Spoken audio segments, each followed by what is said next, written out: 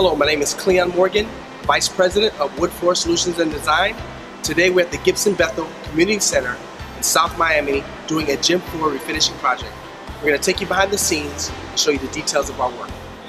Currently right now on the project, um, there's a couple of things of, uh, that we're going to point out here. Right now, due to the, the lack of uh, finish uh, currently on the floor, uh, there's some uh, extensive wear in the key area. Uh, has worn down considerably.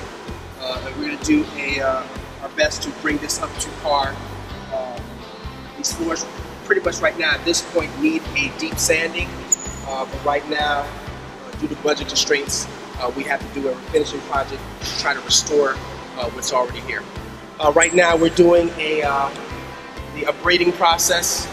right now, we're using our, our buffers um, attached with our dust containment system here to abrade the floor and get all the uh, imperfections, uh, the chewing gum, uh, the light scratches off the surface of the floor.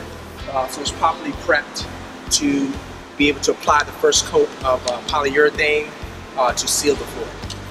We're at the conclusion of the Gibson Bethel Community Center gym floor refinishing project here in South Miami. As you can see, the gym floors look 10 times better than it did before.